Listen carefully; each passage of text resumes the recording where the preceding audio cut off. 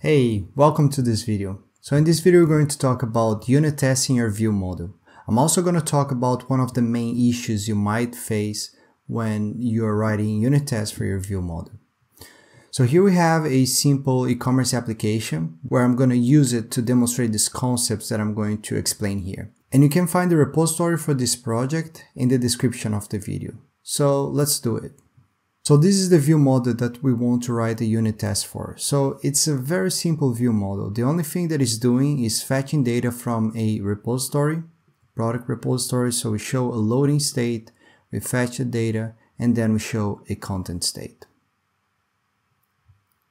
So the easiest way to create a unit test for a view model is to click on the class name and then option enter on macOS and then you see the option create test and then already gives a name for you and then it's very easy to create the test. Okay so the first thing we gonna we're gonna do is to create the target of this test which is the view model itself. So so let's create the instance of this view model and this view model also needs some dependencies. So in this case, we're going to need a product repository. It is a good practice that you don't pass the real implementation of, uh, of your dependency because if your test fails, you want to make sure that they are failing because of the view model and not because of your, of your dependencies. And therefore, I like to use a library to mock those dependencies. There are two libraries that are very well known, which is Mockito and MockK as in mock Kotlin. So I'm just going to create a repository and then I'm going to do MockK. Um, very nice. So now I can write my first a simple test. So let's call this test when fetching products content state is shown. So I want to verify that whenever I uh, fetch my products, I end up showing the content state. So that's what I'm trying to do. So I'm gonna need to call the view model, load product, and here I should pass some ID. I'm just gonna pass a uh, any ID because this is a test. And then I want to I want to assert that uh, view model dot view state dot value is content. So very simple test. I'm uh, calling this load product. This is going to launch a coroutine is going to uh, show the loading state, is going to call this method get product details and then is going to show a content. So I want to verify that I'm showing the content after this uh, function is executed. So the first thing I have to do is I have to mock the response the response for get product details. So here in the mock is very easy to do it. You can use the co uh, every and with that you can easily mock the response of a, a suspend function. So in this case is get product details. And I'm gonna use any here which means for any parameter that was passed to the product detail then returns another mock object because I don't really care with the return type at this moment. So uh, very simple. I'm uh, mocking the results here and I want to verify that content was shown. So let's run and see what happens. Okay, so we got an error. If you take a look in the error, you're gonna see that it tries to call this get main loop looper and this looper was not mocked. So um, what that means is that it tried to access the main thread of Android, but since a unit test doesn't have access to the Android APIs, doesn't have access to the main thread, fragments, activity, context, it doesn't have access to it. That's why unit tests are so fast because they don't need They don't load all the Android dependencies. And because they don't have access to the Android dependencies, they don't have access to the main thread. And if we take a look in this, um, in this method, we are launching coroutine, which is gonna use the main thread, the view model scope. And we are also trying to post a value in our live data. So that is also going to try to access the main thread. So that is not going to work. So this is one of the problems that you might face when you're writing unit tests for your view model. So let's try to fix it. By the time that I'm recording it, there uh, one way to fix it is to use these rules. So there is one rule that that is called instant task executor and there is also a standard test dispatcher. So your coroutines can use this dispatcher.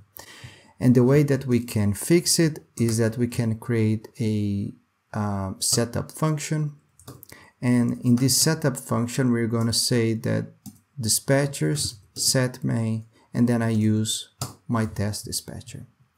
So what I'm doing here, I'm telling uh, I'm telling uh, the coroutines to use these test dispatchers. That's basically what is going on under the hood. And here is the same, but for the live data. Um, so now let's run and see what happens. Okay, so we got another error and this time is assertion failed. So if we try to debug it, we're going to see that this view model dot viewState.value is actually new at this point. That's why this assertion is failing. And the reason why this is failing is because if you take a look into this standard test dispatcher, in the documentation, it's going to tell you that it doesn't execute the tasks. So you have to do it by accessing the scheduler.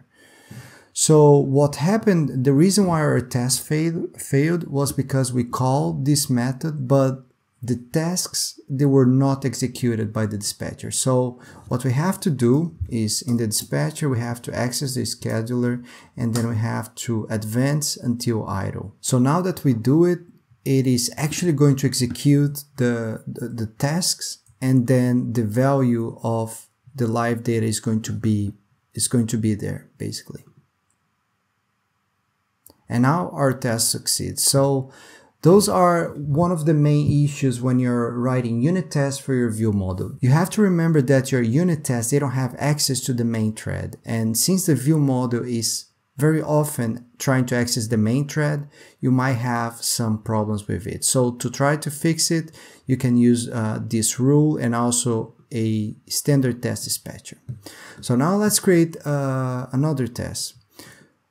So now instead of checking if the result is content, I want to check if the loading state was shown before. So when fetching products, loading state is shown before content.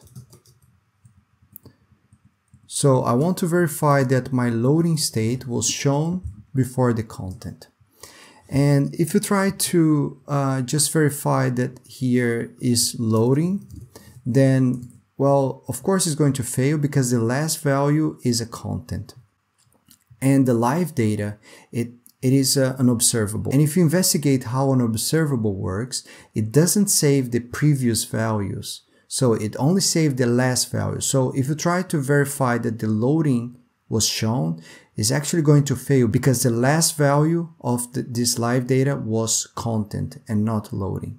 So what, what you have to do is that you have to somehow save all the values that were uh, posted to this live data and then you can compare uh, those values that you saved. So the way that you can do it is by saving in a list. So let's create a variable that is called states and this is going to be a mutable list of product details view state and now I'm going to observe all the changes that happens to my live data so view model dot view state observe forever. And here what I'm going to do is I'm going to add all the values that were uh, observed.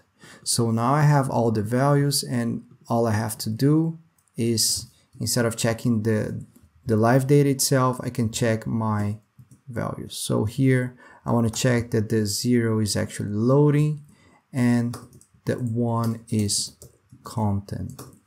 So, now, so let's run and see if it works. Nice, it works. I always like to see my tests failing as well, just to be sure that they are actually working as expected. So I'm going to change it and see if it fails. And it fails. So now I'm going to go back to the previous state, which is the correct one. And I'm going to run all the tests of my view model. And as you can see, all the tests has passed and now we have a working unit test for our view model. So the key takeaway here is that you have to remember that unit tests, they don't have access to the Android APIs. So the main thread, for example, is not accessible via unit tests. And that's why you might face some problems while writing unit tests for your view model. If there are other ways to unit test the view model, make sure that you leave in the comments and I'm definitely going to take a look as well. So thanks for watching. If that was useful for you, hit the like button and also subscribe. See you in the next video.